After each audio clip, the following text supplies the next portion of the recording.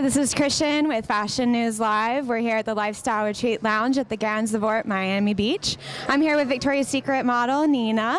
Hi. Very nice to have you here.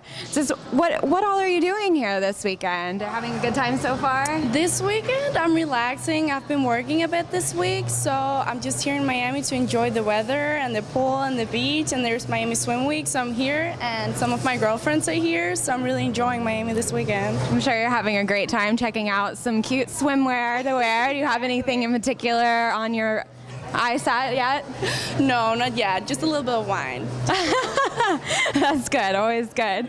So tell us, how do you stay in such great shape? Do you have a regular routine that you do? Anything that you try to avoid or?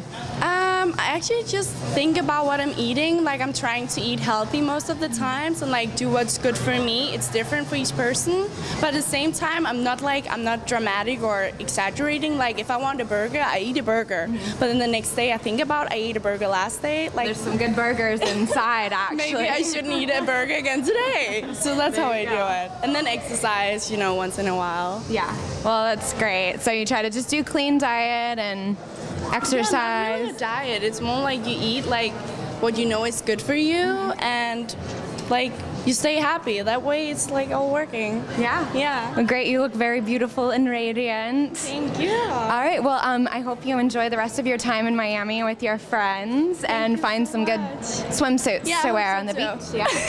Great. Thank you so so much. much. Again, Kristian with Fashion News Live.